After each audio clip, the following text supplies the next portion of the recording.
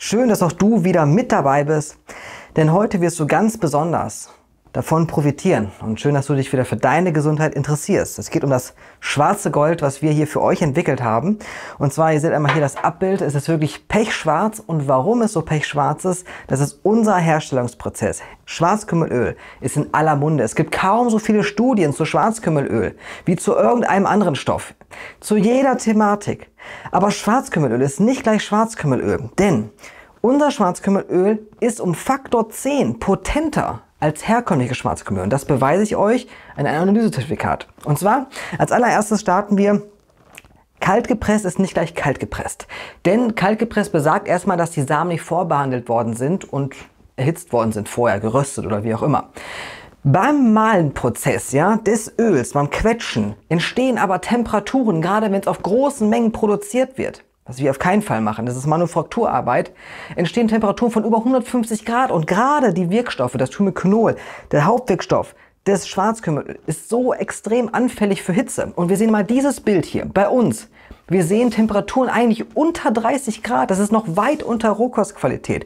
Und nicht nur das, nur fürs Video, aber normalerweise machen wir diesen Prozess auch bei Licht aus. Und dann kommt das Öl noch in ein Mironglas, ja, was gar kein Licht durchlässt. Das Glas ist wahrscheinlich so teuer wie manches Schwarzkümmelöl der Inhalt, ja, bei uns schon. Aber Jetzt kann man ja sagen, ja gut, was hat das jetzt zu tun, wenn ihr so niedrige Temperaturen dann wirklich kalt presst? Und das zeige ich euch jetzt im Analysezertifikat. Ja, das Entspannende sehen wir hier normal ist das herkömmliche bio-kalt gepresste Schwarzkümmelöl, ja, Thymiconolgehalt, sehen wir. 0,02. Wir sehen jetzt unser Zertifikat von unserem Schwarzkümmelöl ebenfalls bei dem gleichen Labor, ja, so. Und wir sehen 0,2. Das heißt, zehnmal so viel Thymiconol haben wir, den Hauptwirkstoff, des Schwarzkümmelöls in unserem. Und das merkt man deutlich. Dieses Öl ist maximal sieben Tage alt. Ja, es ist wirklich ganz, ganz frisch. Je eher ihr bestellt, natürlich desto frischeres bekommt ihr jetzt auch. Ja, und das schmeckt man auch einfach. Ja, es ist nicht nochmal durchgefiltert. Es ist wirklich so kräftig und stark, ja, dass ihr sowas noch nie gespürt habt. Selbst ich habe mich erschrocken an meinem Blutzucker und an meinem äh, Blutdruck. Ja, wie tief das nochmal wirklich durch diesen Stoff äh, dann gesunken ist. Das ist wirklich Wahnsinn. Das heißt, für Menschen, die wirklich sehr, sehr tiefen, tiefen Blutdruck haben, ist das nicht ganz so geeignet, ja, weil es wirklich wahnsinnige starke Wirkung hat, wenn man wirklich hochqualitatives hat.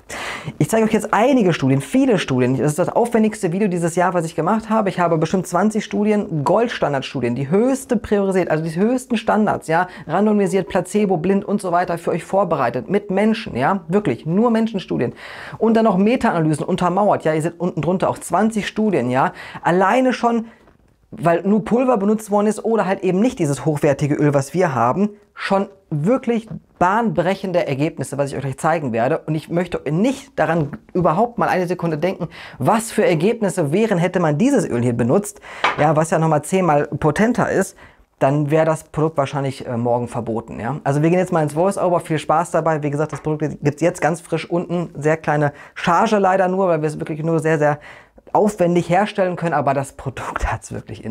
Viel Spaß beim Voice-Over, los geht's. So, willkommen zurück und jetzt wird es nochmal richtig spannend. Als erstes eine randomisierte placebo-kontrollierte Studie, also Goldstandard, ja, das höchste, was überhaupt man machen kann. 40 Teilnehmer, das Thema war die beeinflussende Funktion der Schilddrüse. Wir wissen mittlerweile, ein Drittel der Menschen haben Abnormalitäten und fast 80 Prozent der Menschen bei einer Autopsie haben Abnormalitäten der Schilddrüse, ja. So, dies wurde durchgeführt über acht Wochen, leider nur Pulver, ja. Stell dich mal vor, wie potent jetzt eine Essenz wäre halt, ja, so wie ein Öl oder sowas halt, ja. Doch zuerst erstmal wichtig. Das TSH, das ist das Schilddrüsenstimulierende Hormon. Ja? Hast du davon hohe Werte, arbeitet deine Schilddrüse nicht gut. Denn sonst würde die Hirnanhangdrüse nicht viel von diesem Schilddrüsenstimulierenden Hormon ja produzieren, wenn deine Schilddrüse gut arbeiten würde. Ja, das ist ganz, ganz wichtig. So, das heißt, ist das TSH relativ hoch angesiedelt bei dir im Blut, arbeitet deine Schilddrüse nicht suffizient. Wir sehen hier, das TSH ist gesunken, da deine Schilddrüse jetzt besser arbeitet in der Schwarzkümmelölgruppe mit einer statistischen Signifikanz. Des Weiteren sehen wir hier natürlich auch die Schilddrüsenhormone T3, aber vor allem auch das T4 mit einer statistischen Signifikanz einen deutlichen Anstieg der Schilddrüsenhormone in der Schwarzkümmelgruppe. Da das T4 andere Faktoren braucht als das T3 zur Umwandlung, ne, denn dazu werden natürlich noch Selen und Vitamin A benötigt, ja, kann ich mir aber vorstellen, dass gerade das Schilddrüsenprodukt von uns, ja, mit Kombination mit dem Schwarzkümmelöl jetzt ein richtiger Booster sein würde. Jetzt kommt noch was ganz Wichtiges, und zwar Antikörper gegen Schilddrüsen-eigene Enzyme wurden gemessen. Ja, die sind Anti-TPO heißen die. Da geht es um Peroxidasen, das heißt, dass sie das Jod normalerweise addieren an das Tyrosin. Wir sehen hier eine statistisch signifikante Senkung. Diese haben sich nämlich halbiert. Das heißt, die Antikörper gegen deine Schilddrüse in der Schwarzkümmelgruppe zum Vergleich die Placebo kaum Unterschied zu messen. Schwarzkümmel reguliert das Immunsystem in der Studie so, dass weniger Antikörper gegen die Schilddrüse gebildet werden und damit natürlich auch Autoimmunkrankheiten. Ich habe selten so etwas Sensationelles gesehen. Erzählt sehr gerne euren Mitmenschen davon, denn dann mache ich diese Videos hier nicht einfach nur so, sondern auch wirklich, dass das auch Menschen erreicht. Das ist immer ganz, ganz wichtig. Ja, ich bin da mit euch im Einklang. Ja, wir sind voneinander so gesehen in gewissem Maße abhängig. Wir schauen nochmal auf die Abbildung der Wissenschaftler hier in der Studie und wir sehen, dass der Hauptwirkstoff Thymiconon, der ja bei uns zehnmal höher ist als normalen Schwarzkümmelöl, da das Sättigungsgefühl steigt sinkt auch das Gewicht, was ich auch bei mir bestätigen kann. Schilddrüsenhormone werden stimuliert. Antikörper werden gesenkt gegen die Schilddrüse. Lipogenese sinkt, also Fettaufbau, und Lipolyse steigt, also Fettabbau. Insulinresistent sinkt, kann ich bestätigen, mein Blutzucker hat sich deutlich verringert. Oxidativer Stress sinkt sowie Entzündungen und Hemioxygenase steigt, was unfassbar wichtig ist, denn deine roten Blutkörperchen werden normalerweise umgewandelt in ein fettlösliches Antioxidant, das Biliverdin. Und das, dafür brauchen wir ganz, ganz dringend die Hemioxynase. Und die steigt und senkt die Zyklooxygenase, welche die Bildung von Prostaglandinen vorantreibt, welche Entzündungen fördern bei dem Körper. Und wichtig, reguliert die VEGF. Das sind Wachstumsfaktoren des Endothels der vielleicht wichtigsten Zellschicht bei uns im Körper. Und damit steuert es den Blutdruck, was ich deutlich bestätigen kann, bei mir um knapp 10 Punkte systolisch und 7 diastolisch. Machen wir weiter. Eine doppelblind randomisierte Placebo-Studie zu Nierensteinen. Das ist die häufigste Nierenerkrankung überhaupt und betrifft 5% der Bevölkerung. Wieder Goldstandard studienbasiert. Wir sehen hier, die Größe der Nierensteine hat sich fast um den Faktor 3 verkleinert, hingegen in der Placebo-Gruppe keine Veränderung. Und das mit einer statistischen Signifikanz. Einfach unglaublich.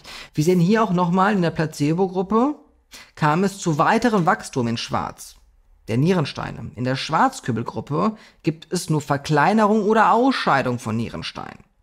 Auch hier wurde wieder nur Kapseln gegeben und nur 500 Milligramm über 10 Wochen. Ich würde gerne wissen, was mit Öl passiert würde. Die Konklusion sagt eben auch genau das. Wenn man größere Nierensteine ausscheiden möchte, braucht man eine Essenz, ja? So. Und das wäre ja eigentlich das Öl. Eine weitere Goldstandard-Studie, doppelblind randomisiert Placebo, wo es um Menschen mit einer Nicht-Alkohol-Fettleber ging. Wir sehen hier wieder den gleichen Trend, Blutzucker in Insulin sind statistisch signifikant gesunken. Damit auch der HOMA-IR, also der Aufschluss gibt über die Insulinresistenz. Gerade bei Typ 2 Diabetes ganz, ganz wichtig da er sich aus beiden berechnet. Das Placebo schnitt deutlich besser ab in dem Verbesserungsprozess. Das können aber nicht nur Goldstandard-Studien zeigen, sondern eben auch Meta-Analysen aus 17 randomisierten Studien. Siehe hier, den gefasteten Blutzucker senkte das Schwarzkümmel statistisch signifikant. Auch statistisch signifikant in den 17 randomisierten Studien senkte das Schwarzkümmel den Langzeitblutzucker, den HbA1c-Wert. Konklusion natürlich statistische Senkung des Zuckers. Und Autoren Autoren hatten auch keinen Interessenskonflikt. Zurück zur anderen Studie. Wir sehen hier die Fibrose, das heißt die Verhärtung von Gewebe in der Leber, welche statistisch signifikant gesenkt wurde in der Schwarzkümmelgruppe, nicht in der Placebo. In beiden Gruppen kam es zu einer Verringerung der Steatosis, das heißt Fettleber, statistisch sogar, aber hier auch in der Schwarzkümmelgruppe deutlich vehementere Verbesserung. 30% Verringerung Fettleber in der Schwarzkümmelgruppe, hingegen nur 12% in der Placebo, das heißt mehr als doppelt so stark. Auch zum Thema Lunge gab es eine randomisierte Placebo-Studie zum ACT-Test, ja, Asthma-Kontrolltest. So ein Test sieht so aus, je mehr Punkte, desto weniger beeinflusst das Asthma die Menschen im Alltag. Und wir sehen hier einen signifikanten Anstieg gegenüber der Placebo-Gruppe. Auch zu den Nieren gab es eine randomisierte Studie mit Nierenerkrankten 150 eine Zahl. Schauen wir uns die Ergebnisse an. Der Unterschied in der Gruppe war 2,5 Milliliter, ein Teelöffel quasi Schwarzkümmelöl. Beide bekamen Alpha-Keto-Analoge von Aminosäuren. Schauen wir uns die Kreatininwerte an, die darüber Aufschluss geben über die Filterfunktion der Niere. Beide Gruppen zeigten einen guten Abwärtstrend und damit bessere Filterleistung. Aber die Schwarzkümmelölgruppe schnitt noch besser ab und damit auch die korrelierend die Proteinmenge, die im Urin verblieben ist, nimmt ab, was ein klares Indiz für eine bessere Filterfunktion ist. Auch hier die Schwarzkümmelölgruppe zeigte eine stärkere Besserung. Das Urinvolumen ist bei beiden ca. identisch geblieben, was gut ist. Abschließend die Filtrationsrate der Niere deutlich, deutlich besser in der Schwarzkümmelölgruppe, einfach fantastisch, nur 2,5 Milliliter am Tag hier in der Studie verwendet. Auch eine Studie bei Kindern zu Hirntumoren, welche eine Chemo erhalten. Die eine Gruppe hat 5 Gramm Schwarzkümmelsamen am Tag gegessen und die andere eben nicht. Das Problem ist, Kinder bei einer Chemo bekommen oft eine Verringerung von Immunzellen, besonders die neutrophilen Granulozyten. Wir sehen hier die Kinder mit den Schwarzkümmelsamen haben deutlich mehr Immunzellen behalten, trotz der Chemo, und zwar mit einer statistischen Signifikanz. Wieder Goldstandard Placebo randomisiert blind mit 90 Probanden. Das Interessante hier, wurden die Entzündungsmarker im Blut untersucht, 3 Gramm Öl wurden pro Tag verabreicht. Wichtig sind dabei Tumor-Nekrose-Faktor Alpha, Interleukin 6 und das ganz wichtige CRP-Wert. Ja, das ist der der Entzündungsmarker. Wir sehen hier deutliche Abnahme des CRP-Werts mit einer statistischen Signifikanz gegenüber der Placebo ohne Schwarzkümmel. Auch hier gibt es eine Meta-Analyse zum CRP-Wert, dass es nicht nur auf dieser Goldschnitt-Studie einmal berufen wird, die ja schon sehr aussagekräftig ist mit 90 Probanden, aber ebenfalls noch eine Meta-Analyse aus 90 Studien, Schwarzkümmelöl, CRP-Wert. Das sehen wir hier eindrücklich, wie statistisch signifikant, ja, auch noch bei den Studienanzahlen, ja, der CRP-Wert sinkt dank Schwarzkümmel. Kommen wir zu einer anderen randomisierten Doppelblind-Studie mit 70 Teilnehmern und diese haben wieder 2,5 ml Schwarzkümmelöl enthalten. Es ging diesmal um den Blutdruck, systolisch, wenn das Herz quasi Blut auswirft, diastolisch, wenn das Herz quasi zusammensagt. Wir sehen hier eine statistische signifikante Senkung von 130 auf 120 systolisch für die Schwarzkümmelgruppe ja, und keine nennenswerte Veränderung in der Placebo. Das gleiche gilt für diastolisch, 77 auf 67 gesunken Schwarzkümmelöl Placebo, so gut wie keinen Unterschied. Hier haben wir ebenfalls eine Meta-Analysenstudie zu 30 Studien wurden zusammengefasst, ja. Schwarzkümmel, Blutdruck. Der gleiche Trend, systolisch und diastolisch, sehen wir hier beide statistisch signifikant haben den Blutdruck dank Schwarzkümmel gesenkt. Auch hier wieder nur Pulver, aber anscheinend schon ausreichend. Stellt euch mal vor, was Öl leisten könnte. So auch die Konklusion sprechen die Wissenschaftler von einer signifikanten Senkung durch Schwarzkümmel. Von den Mechanismen ist aber noch keine Spur. Das heißt, sie wissen noch nicht ganz genau, wie das überhaupt funktioniert, wie das Schwarzkümmelöl das überhaupt macht. Und das ist doch das ganz, ganz Spannende, ja. Wir sehen hier übrigens noch Nieren- und Leberwerte. Keinen großen Unterschied in dieser Meta-Analyse. Ja, das ist immer ganz, ganz wichtig, dass gerade die Veränderungen, ja, in den Studien, die ich präsentiert habe, aber Menschen vonstatten gegangen sind, die Abnormalitäten aufweisen. Ja, das heißt, Schwarzkümmelöl hat eher einen regulierenden Einfluss, ja, das muss man noch ganz zum Schluss gesagt haben. Ich denke, das ist mehr, mehr, mehr als eindrucksvoll. Ich bin absolut sprachlos, ja, was diese Studien hier schon zeigen mit nicht dem hochwertigsten Produkt, ja. Kauft euch sehr gerne mal ein Blutzuckermessgerät oder ein Blutdruckmessgerät oder wie auch immer. Messt mal euren CRP-Wert beim Arzt vorher und nachher, nach ein, zwei Flaschen, ja. Und ihr werdet merken, es ist nicht von dieser Welt, dieses Produkt. Viel Spaß auf purazell.de. Dort könnt ihr jetzt bestellen oder unter dem Video ist der Link. Viel Spaß dabei. Wir sehen uns gleich auf purazell.de. Bis zum nächsten Video. Ich sag ciao.